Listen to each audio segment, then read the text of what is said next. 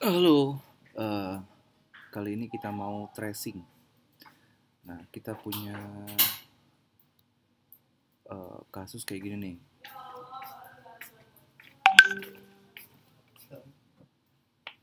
Square number diberikan sebuah function square number di mana menerima inputan berupa number. Function ini akan memba- membalikkan nilai array multidimensi yang akan isi value tersebut. Ya, baca sendiri ya. Kayak gini. Jadi kita mau akses array nih. Nah, kita mau akses array. eh, prosesnya inputannya adalah tiga nah, dari sebuah function. Inputannya ada tiga, outputnya nanti satu, dua, tiga, terus empat, lima, enam, tujuh, delapan, sembilan. Artinya empat, lima, enam yang array yang elemen pertama ini eh, dia beda sama elemen yang ke nol sama elemen yang kedua. Nah, jadi si elemen yang pertama ini dia dibalik mundur. Nanti metode-metodenya kita coba eh, kita coba eh, review juga ya. Nah, outputnya nanti nah, di sini ada eh, alih-alih menggunakan eh, menuliskan value angka, kamu akan menuliskan simbol karakter dengan syarat sebagai berikut. Jika value merupakan kelipatan 4, maka diganti dengan simbol pagar. Jika value merupakan bilangan genap, akan diganti dengan karakter O, O kecil ya. Jika value merupakan bilangan ganjil, maka akan diganti dengan karakter X. Nah, kayak gini. Kalau dia kelipatan 4, X. Kalau dia genap, O. Kalau dia ganjil, maka eh, X. Pagar, O sama X. Maaf ya, tadi ah, agak ini. Nah, ini ada banyak nih. Ketika dia inputannya 3, dia akan membuat tiga elemen array. Satu di dalam array. Satu, dua, tiga.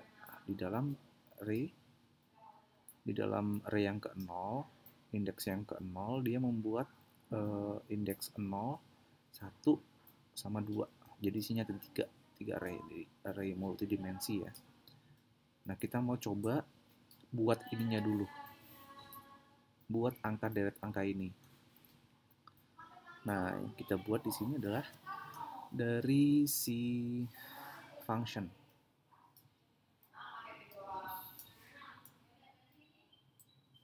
Nah, ketika inputannya parameternya kurang dari 3, maka yang dikeluarkan adalah string ini. Kayak gitu ya. Nah, kita mulai dari sini. Function square number. Nah, di sini kita buat yang pertama jika number kurang dari 3, di sini ada banyak nih numbernya parameternya. 3, 5, 4, sama e, 2. Nah, jika 2 dia outputnya kayak gini mintanya. Jika 5 dia outputnya kayak gini mintanya. Nah, jika 4 outputnya kayak gini, ada 1, 2, 3, 4, isinya 1, 2, 3, 4, jadi 4 kali 4 ya. 16, e, ini 3, jadi 1, 2, 3, 3 kali 3 sama dengan 1, 2, 3, 1, 2, 3, 1, 2, 3 ada 9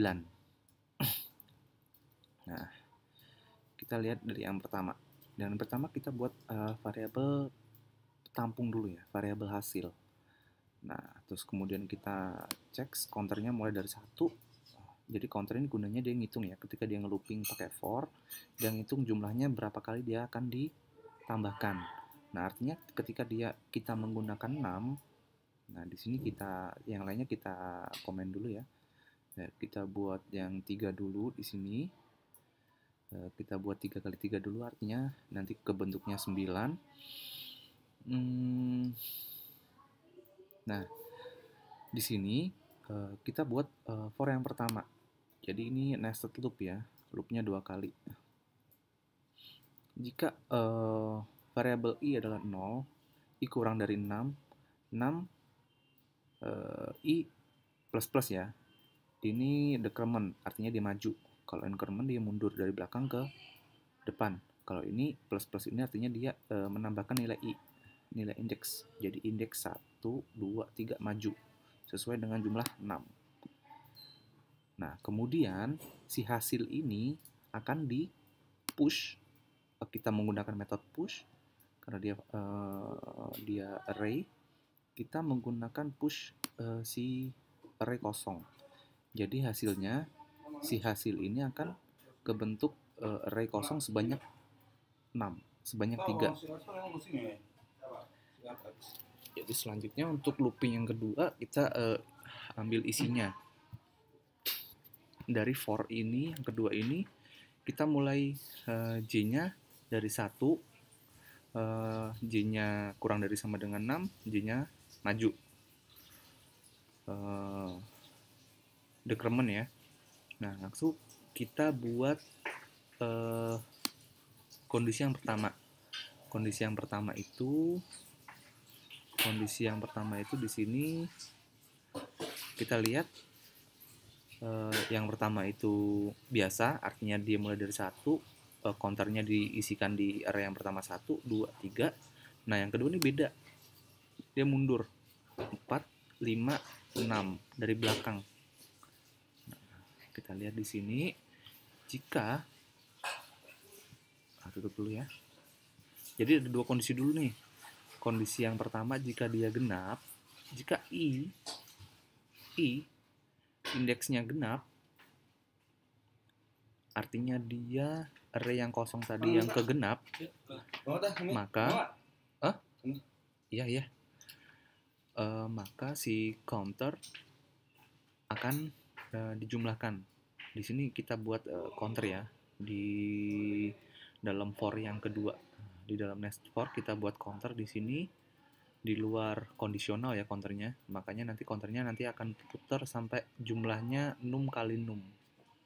Nah, counternya nambah terus. Sampai jumlahnya eh, 1 sampai si 10 harusnya dia counternya dari 0 karena kita mulainya dari 1 kurang dari 6 makanya di, nanti hasilnya counternya adalah 9 kayak gitu ya.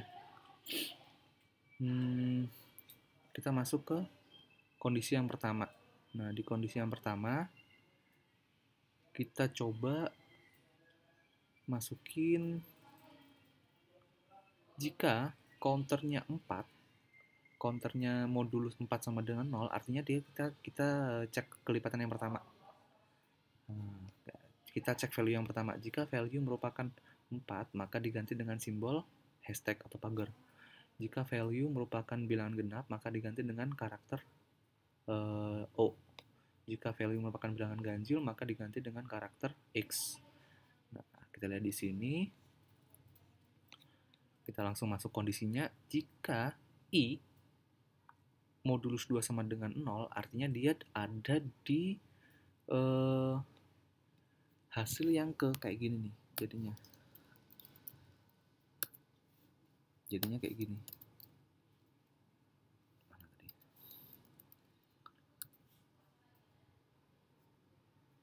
jika i modulus 2 sama dengan 0 counternya uh, udah sampai 4 uh, eh, sama dengan 0 hasilnya di push hashtag artinya dia yang kelipatan 4 di push hashtag nah, sisanya uh, jika counter uh, modulus 2 sama dengan tidak sama dengan 0, hasil I di push X. Uh, selain itu, karena dia selainnya dari kedua hmm, kedua apa namanya kondisi seperti ini, dia tinggal kita masukkan aja. Artinya kita udah tentuin yang kelipatan 4, tentuin yang uh, ganjil, modulus 2 bukan sama dengan 0, dan sisanya kita tinggal uh, declare aja kita tinggal masukin aja itu juga sama yang si ini karena kita udah uh, siapin kondisi yang pertama untuk array yang pertama ini maaf maaf, ya yang untuk yang array yang pertama dan array yang ke uh, ini indeks yang ke 0 indeks yang pertama dan indeks yang kedua nah indeks yang ke 0 ini dia uh, dengan kondisi yang seperti ini. Nah, indeks yang ke satu artinya dia ganjil. Selain daripada genap ini, dia masuk ke kondisi yang kedua. Nah, sama sebenarnya isinya. Dari kedua kondisi ini, kondisi yang indeks ke ganjil dan indeks ke genap, indeks ke ganjil, eh, ke ganjil dan indeks ke genap, ini 0, ini 2, ini 1. Nah, kita masukkan kondisi-kondisi sesuai dengan seperti ini. Nah, kita coba lihat. Nah, counternya kita taruh bawah. Nanti dia akan berputar sesuai dengan jumlah for loop yang ada di sini. Nah, 6 kali 6, artinya 9 kali dia berputar sesuai dengan parameternya, yaitu diameter 3. Coba kita cek. Apakah hasilnya udah benar? Tunggu, tunggu. Kita coba, kita coba counternya kita, kita coba shift sama push ya di dalam array ya. Counternya kita coba shift sama push. Apakah dia nanti hasilnya akan sama? Ini kita hapus. Kita balikin seperti semula.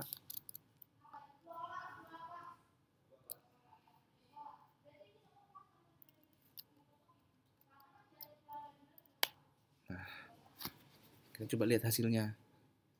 Di sini ada satu dua tiga empat lima enam dia mundur ya sesuai ya.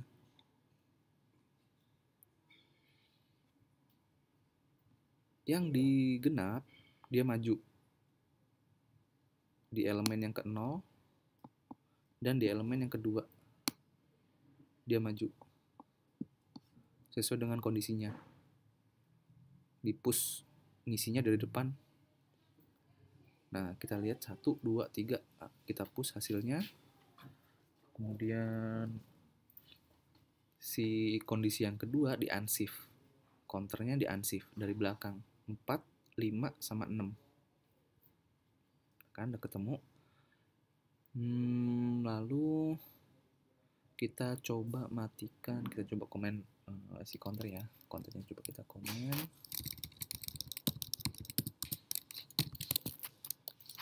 Save. Ini sesuai nggak sama yang diharapin Hmm. Ah, X O X O X hashtag X hashtag X. Kita cek, kita cocokin 1 2 3 4 5 6 7 8 9 X O X O X hashtag X hashtag X. Satu karena dia ganjil dia memunculkan X. 2. Karena dia genap, dia memunculkan O sesuai dengan diminta ya. X kalau dia ganjil, O kalau dia genap. Kemudian 3 karena dia ganjil, dia muncul O. Di sini sama. X, O, X, O. Karena dia ganjil, dia muncul, muncul X di sini sama outputnya. Kemudian 4 dia dia dimulai dari belakang. O 4 dimodulusin habis kelipatan 4 kelipatan 4 ditandain dengan uh, pagar kemudian 5 ganjil ganjil dia muncul X 6 karena dia bukan kelipatan 4 di sini 6 karena dia bukan kelipatan 4 dan dia genap maka dimunculin O begitu seterusnya X hashtag X. X hashtag X. Nah kondisinya di sini kita buat nested. Nah jika yang jika yang pertama ini dan yang kedua ini di dalamnya ada kondisi berarti memungkinkan untuk uh, apa yang akan dikondisikan tadi akan sesuai dengan harapan. Nah, gitu ya. Kalau udah selesai kalau kita menggunakan function kita return hasilnya kayak gini. Nah ini karena video pertama jadi kita buat uh, tracing aja sih. Tracing aja. Nanti kita coba uh, ngerjain uh, uh, yang kayak gini ngerjain puzzle yang kayak gini mulai dari nol. Nah karena ini memang video pertama jadi kita coba untuk tracing aja. Jadi kita coba uh, gimana caranya uh, masukin uh, karakter ke dalam array menggunakan push dan menggunakan unshift. Nah, di sini video sampai ha, sampai sini aja. Nanti kalau ada pertanyaan coba di uh, kirim ke kolom komentar. Dadah, assalamualaikum.